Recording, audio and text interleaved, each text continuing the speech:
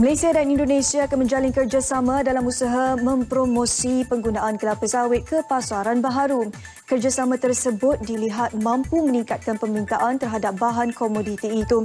Perkara mengenainya diputuskan pada mesyuarat peringkat Menteri Lembaga Negara Pengeluar Minyak Sawit CPOPC. Laporannya kita bersama dengan Kamal Firmansyah Kamaluddin.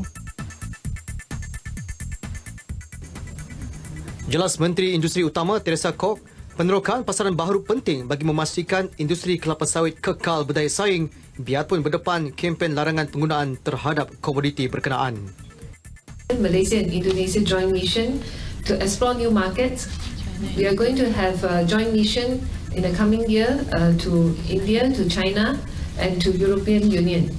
Uh, we are going to uh, uh, promote palm oil together and together we counter the uh, negative campaign against the palm oil.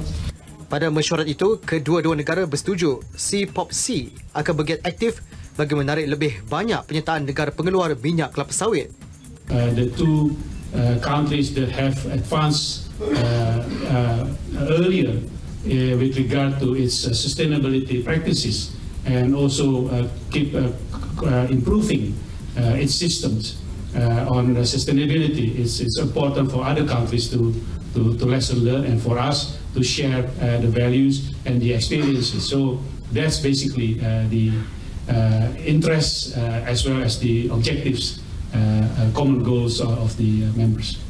Malaysia terpilih mempengerusikan CPOPC selama dua tahun bermula 1 Januari 2019. Bagi mengatasi masalah lambakan stok kelapa sawit dalam pasaran, kedua-dua negara juga bersetuju menggunakan bahan komoditi itu sebagai bahan biodiesel.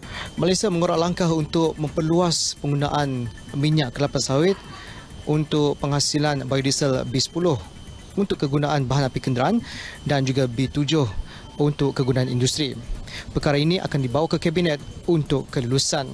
Ini dilihat bukan saja mampu mengurangkan kebergantungan terhadap ekspor komoditi itu, malah dapat meningkatkan permintaan dalam sektor baharu. Saya Kamal Firman Syah Kamaluddin melaporkan untuk Berita RTM.